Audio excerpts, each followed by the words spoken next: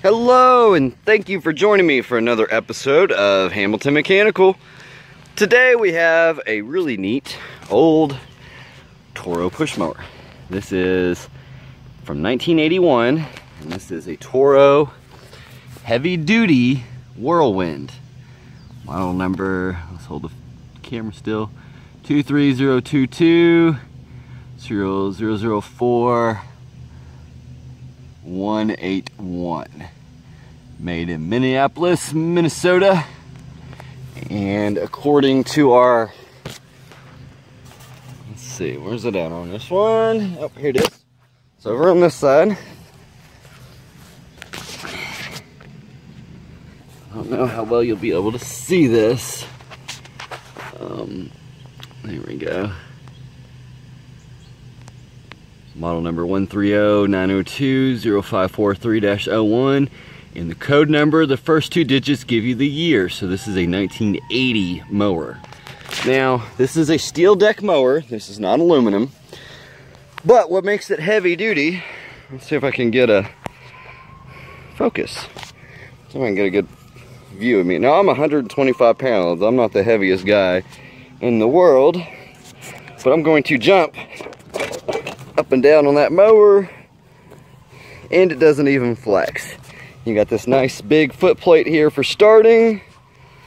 And this is a whirlwind deck, so this is a very thin deck.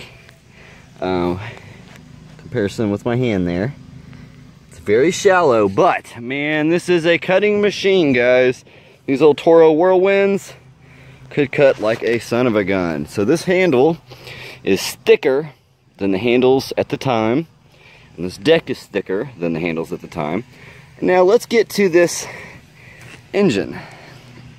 This is a five horse Briggs. This is a true five horse Briggs and it is somewhere a little over 200 cubic centimeters in displacement. The standard five horse you have on a regular lawnmower, don't quote me, I think it's 140 cubic inches. Um, it's much, much smaller. So this is a this is a bigger five horse than your standard five horse. This is the exact same engine you'd have find on a go-kart, just in a vertical form. So that's a heavy duty torque monster engine, heavy duty air cleaner, heavy duty one gallon gas can. Now, this mower has been completely rehabbed. I have not done anything cosmetic, but it's got new carburetor kit, new coil, new oil, new air filter, new air filter housing. No, that is not the one that came with it. When I got this mower, that had all been gutted, but this is the exact same style that was on it. And as you can see, oh, maybe, maybe you can see, Briggs and Stratton. So it is, it is the original, I think the original top, but the rest of it was missing. So we have a big cartridge style air filter, the bottom and the, the bolt and everything that attaches it was missing. The wheels are ball bearing, um, where are they at? There we go. You can see one there. Grease fitting. And in order to change the cut of height, you have to physically unbolt the wheel and choose what hole you want to put it in. So kind of a pain in the butt if you're switching heights often, but for the people that use these mowers, they kept them at the same height and that uh, kept any uh, any breakage of the height adjuster lever that you see on a lot of residential mowers. Okay, so I think we've done a pretty good overview. Let's flip her upside down, show you what the bottom looks like. Standard lawnmower. Oh, I forgot to sharpen the blade. Well, that'll be the last thing I do then. Sharpen that blade. Um, as you can see, it is a very, very thin deck. That's not very deep. But, man, you want to talk about something that mow five foot tall grass. So let's choke her here. Give her a pull.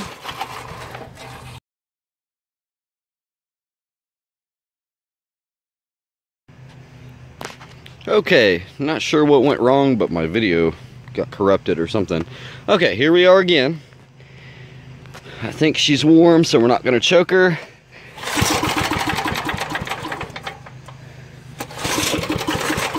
Okay, maybe we should choke her. Give her a little choke.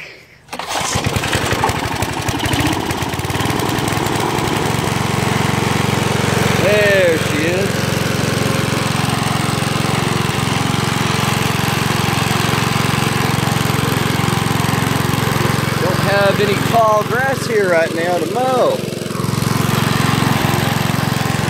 this uh, patch of dead grass.